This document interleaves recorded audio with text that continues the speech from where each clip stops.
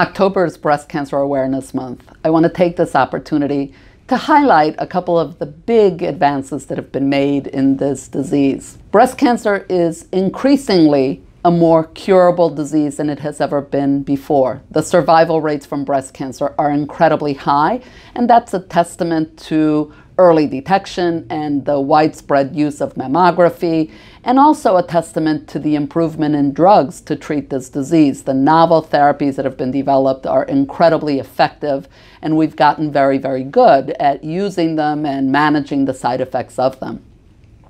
To begin, I think it's important to recognize that uh, women have a risk of developing breast cancer in their lifetime of approximately 1 in 8 to 1 in 10. Some women have a higher risk depending on their family history or their ancestry. We know that uh, women of Ashkenazi Jewish ancestry have a higher tendency to have genetic abnormalities predisposing to breast cancer. So it's important that all women take advantage of mammography when age appropriate. We recommend starting mammography at 40. Uh, for some women, we recommend starting earlier depending on their family history. Uh, if a woman has a strong family history, genetics uh, is often recommended. Genetic testing can help us determine if that woman is at risk and can then uh, guide us in terms of how she should be managed. For example, if a woman carries a BRCA mutation, that woman is recommended mammography starting uh, at 30 with MRI starting at 25. So you can see that the recommendations vary significantly depending on your family history.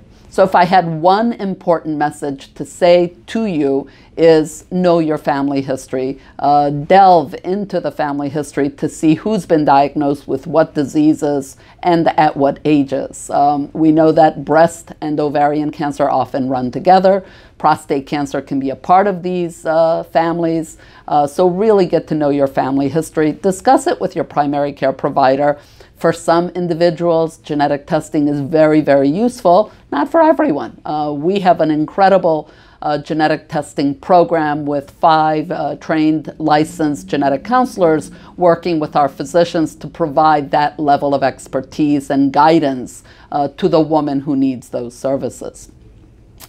Now, uh, once a mammogram is done or a woman feels an abnormality, um, the next step is really uh, often led by the uh, radiologists who do biopsies to get a diagnosis. The majority of biopsies are not cancerous. They may tell us about a woman's risk, but they're often not cancerous. And our team is able to help that woman manage the road when she has a benign uh, biopsy that may still need attention.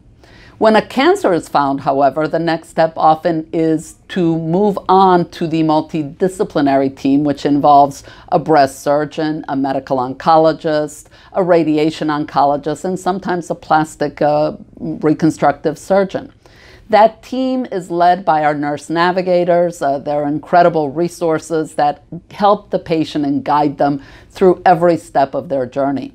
That team sits down with the woman and determines what the next step should be. For some women, it's surgery, and there is tremendous possibility to preserve the breast. Uh, in 80% of cases, the breast can be preserved with a lumpectomy and radiation. Some women need a mastectomy. Some women want a mastectomy. So the goal of our team is to be able to discuss all of those nuances and to come up with a plan for the individual woman that is appropriate to her disease, uh, her interests, and uh, uh, the overall picture. Once the surgical management is completed, uh, there is then the next step that involves medications. Uh, some people have heard about hormonal therapies or endocrine therapies. Uh, we have a whole array of drugs that we can use in that venue. We also uh, sometimes have to have the discussion about chemotherapy.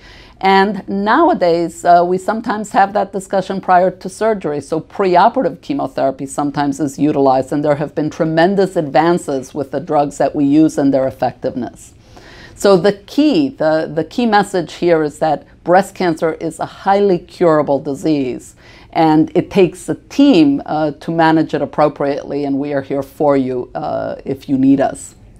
So, in closing, uh, I really just want to highlight that we as a team are totally focused on the needs of our patients. our care philosophy at MD Anderson Cancer Center at Cooper is to provide each patient with a multidisciplinary uh, team that can guide them through their journey, to work with them and their family uh, as they go through this cancer diagnosis, because cancer does not just affect the patient. Cancer affects the patient, their family, their community, uh, and it is important that each of those facets are recognized and uh, addressed.